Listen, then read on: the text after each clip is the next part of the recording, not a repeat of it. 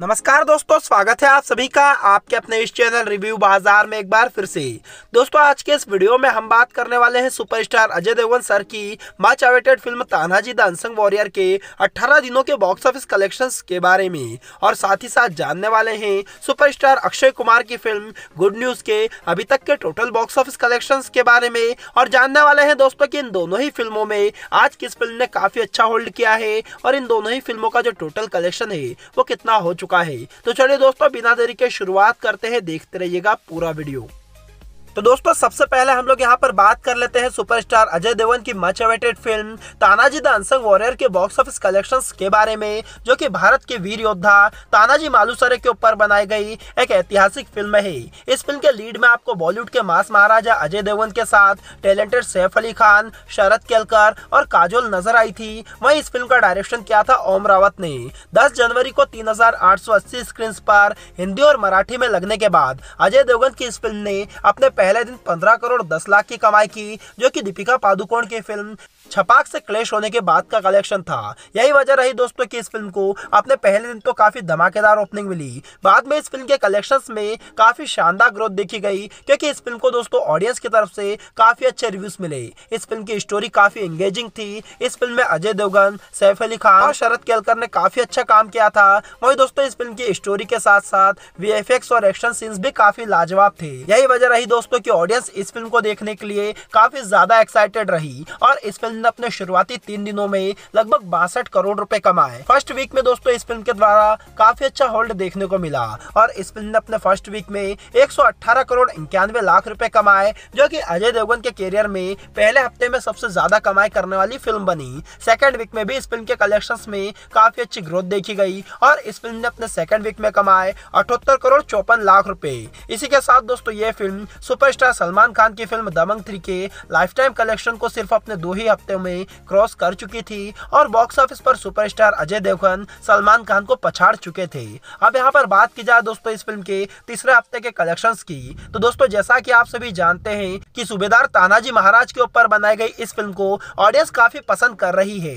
Haryana UP और महाराष्ट्र में ये फ़िल्म टैक्स फ्री हो चुकी है। यही वजह है दोस्तों की ये फ़िल्म इन तीनों ही स्टेट में काफ़ी शानदार कमाई कर रही है। साथ ही में दोस्तों ये फ़िल्म पूरे नॉर्थ इंडिया में धमाका मचा रही है। अगर बात करें इस फ़िल्म के थर्ड वीक की तो दोस्तों इस फ़िल्म ने अपने पंद्रहवें दिन बॉक्स ऑफ़िस पर कमाए पाँच करोड़ अड़तीस लाख रुपए, जो कि इंडियन हिस्ट्री में अपने थर्ड फ्राइडे का आठवां सबसे बड़ा कलेक्शन था। वही इस फ़िल्म ने अपने सोलहवें दिन, यानी कि थर्ड सैटरडे में कमाए लगभग नौ करोड़ बावन लाख रुपए, जो कि थर्ड फ्राइडे का चौथा सबसे बड़ा कलेक्शन था। वही अगर बात करें इस फ़िल्म के सत्रहवें दिन के कलेक्शन की तो दोस्तों सत्रहवें दिन इस फ़िल्म ने बॉक्स ऑफ़िस पर काफ़ी शानदार ग्रोथ दिखाई। हालाँकि इस फ़िल्म की जो स्क्रीन थी, वो कम थी। अगर दोस्तों, इस फ़िल्म को बॉक्स ऑफ़िस पर अपने सत्रहवें दिन स्क्रीन अच्छी मिलती तो इस फ़िल्म का कलेक्शन लगभग बीस करोड़ रुपए को भी क्रॉस कर चुका होता। लेकिन अगर बात करें फिर भी इस फ़िल्म के सत्रहवें दिन की तो दोस्तों, इस फ़िल्म ने अपने सत्रहवें दिन इंडियन बॉक्स ऑफ़िस पर कमाए हैं चौदह करोड़ पचास लाख रूपए। इसी के साथ, दोस्तों, ये फ़िल्म भारतीय इतिहास में अपने सत्रहवें दिन में सबसे ज़्यादा कमाई करने वाली दूसरी फ़िल्म बन चुकी है।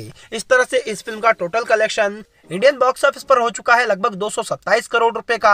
वहीं अगर बात करें इस फ़िल्म के वर्ल्ड वाइड बॉक्स ऑफ़िस की तो दोस्तों वर्ल्ड वाइड बॉक्स ऑफ़िस पर यह फ़िल्म अपने शुरुआती सत्रह ही दिनों में 300 करोड़ का आंकड़ा पार कर चुकी थी और अजय देवगन के करियर की सबसे बड़ी फ़िल्म बन चुकी थी। अब यहाँ पर बात की जाए दोस्तों इस फ़िल्म के अठारहवें दिन के कलेक्शन की तो दोस्तों बता दें आपको की आज एक बार फिर से इस फ़िल्म की जो स्क्रीन है, उसे बढ़ा दिया गया है। पंगा की थोड़ी बहुत स्क्रीन और स्ट्रीट डांसर की थोड़ी बहुत स्क्रीन एक बार फिर से तानाजी को मिल चुकी है और यही वजह है दोस्तों की यह फ़िल्म आज अपने अठारहवें दिन बॉक्स ऑफ़िस पर 22 से 25 परसेंट की ऑक्यूपेंसी लेकर एक बार फिर से ओपन हो चुकी है। और आज भी यह फ़िल्म लगभग साढ़े तीन से चार करोड़ रुपए आसानी से कमा रही है। इसी के साथ इस फ़िल्म का टोटल कलेक्शन हो चुका होगा लगभग दो से दो सौ बत्तीस करोड़ रुपए का। वही वर्ल्ड वाइड बॉक्स ऑफ़िस पर यह फ़िल्म लगभग 305 करोड़ के आंकड़े को आज पार कर चुकी होगी। इसी के साथ दोस्तों लगभग 150 करोड़ के भारी बजट से बनाई गई। अजय देवगन सर की यह फ़िल्म इंडियन बॉक्स ऑफ़िस पर एक ऑल टाइम टाइम ब्लॉकबस्टर हो चुकी है और जल्द ही ये फ़िल्म 300 करोड़ का आंकड़ा भी पार करने वाली है। तो आपको दोस्तों, ये फ़िल्म कैसी लगी? आप हमें अपनी राय कमेंट करना बिल्कुल ना भूलिएगा।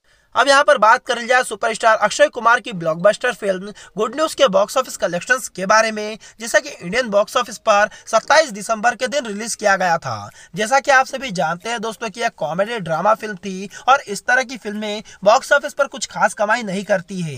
लेकिन सिर्फ़ सुपरस्टार अक्षय कुमार का नाम होने की वजह से इस फ़िल्म ने बॉक्स ऑफ़िस पर आउटस्टैंडिंग कमाई की और अपने पहले ही हफ़्ते में यह फ़िल्म सलमान खान की फ़िल्म दबंग थ्री के कलेक्शन को पीछे कर चुकी थी। बॉक्स ऑफ़िस पर दोस्तों लगभग तीन हज़ार स्क्रीन पर लगने के बाद इस फ़िल्म ने अपने पहले दिन सत्रह करोड़ छप्पन लाख रुपए की कमाई की। वही अपने शुरुआती तीन दिनों में इस फ़िल्म का कलेक्शन रहा था छियासठ करोड़ रुपए का।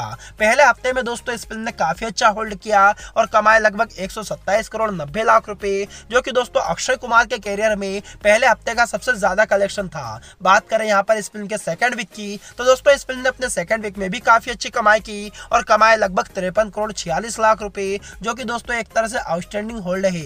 तीसरे हफ़्ते में दोस्तों तानाजी रिलीज़ हो चुकी थी। यही वजह रही कि इस फ़िल्म की जो स्क्रीन थी, वो पूरी तरह से कम हो चुकी थी। उसके बावजूद भी इस फ़िल्म ने अपने तीसरे हफ़्ते में बॉक्स ऑफ़िस पर कमाए लगभग पंद्रह करोड़ चौहत्तर लाख रुपए, जो की दोस्तों इस फ़िल्म को दो करोड़ के आंकड़े तक पहुँचा चुकी थी। अब यहाँ पर बात की जाए इस फ़िल्म के चौथे और पांचवे हफ़्ते के कलेक्शन की तो दोस्तों आपको बता दें कि इस फ़िल्म ने अपने चौथे हफ़्ते में कमाए छह करोड़ नौ लाख रुपए और अपने पांचवे हफ़्ते में ये फ़िल्म एक करोड़ की कमाई शुरुआती तीन दिनों में कर चुकी है।